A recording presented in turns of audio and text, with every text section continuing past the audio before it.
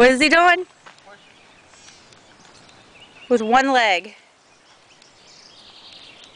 Going up the hill now.